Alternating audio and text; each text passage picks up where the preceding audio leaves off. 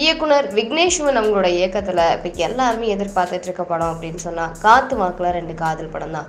இந்த படத்தில் விஜய் சேதுபதி நயன்தாரா சமந்தான்னு சொல்லிட்டு இவங்கெல்லாம் வந்துட்டு நடிச்சிருக்காங்க. ஒரு ட்ரையாங்கிள் ஒரு லவ் ஸ்டோரியாக தான் இருக்கும் அப்படிங்கிற மாதிரி ரசிகர்களால் எதிர்பார்க்கப்பட்டு இருக்கு.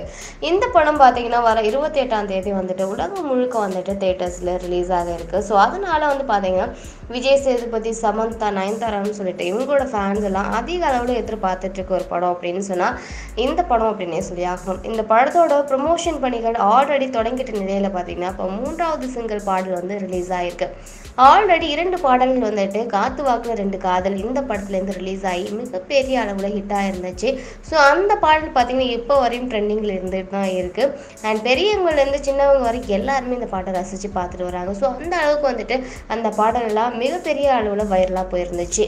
இந்த மாதிரியான சூழ்நிலையில் பார்த்தீங்கன்னா இப்போ விஜய் சேதுபதி சமந்தாவோட பாடலான இந்த டிப்பம் டப்பம் அப்படிங்கிற பாடல் பார்த்தீங்கன்னா ரொம்பவே வந்து இணையதளத்தில் வைரல் ஆகிட்டு வருது அப்படின்னு சொல்லி ஆகணும்.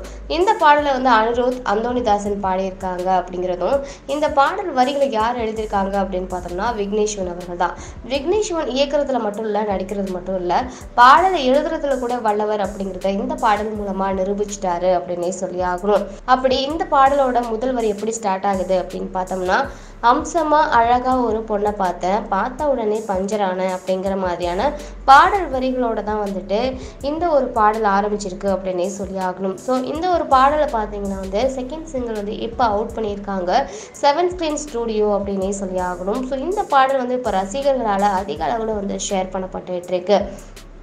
குறிப்பாக இந்த படத்தில் நிறைய ப்ளஸ்ஸான விஷயங்கள் இருக்குது ஒரு பக்கம் விஜய் சேதுபதி இன்னொரு பக்கம் பார்த்தீங்கன்னா நயன்தாரா அண்ட் சமந்தான்னு சொல்லிட்டு இவங்கெல்லாம் வந்து இந்த படத்தில் இருக்கிறதால இந்த படத்துக்கான ஒரு பக்க பலமாக அமைஞ்சிருக்கு இவங்க மூணு பேருமே அப்படின்னே சொல்லி ஆகணும். இதை தவிர்த்து அனிருத் அவங்களோட மியூசிக் அப்படிங்கிற ஒரு விஷயமும் இருக்குது எக்கச்சக்கமான ஒரு எதிர்பார்ப்போட இந்த காத்து வாக்குல ரெண்டு காதல் படத்துக்காக ரசிகர்கள் எல்லாருமே வெயிட் பண்ணிட்டு இருக்காங்க. ஸோ நீங்கள் எந்த அளவுக்கு வெயிட் பண்ணிட்டு இருக்கீங்க அப்படிங்கிற உங்களோட கருத்துக்களை எங்களோட ஷேர் பண்ணுங்கள்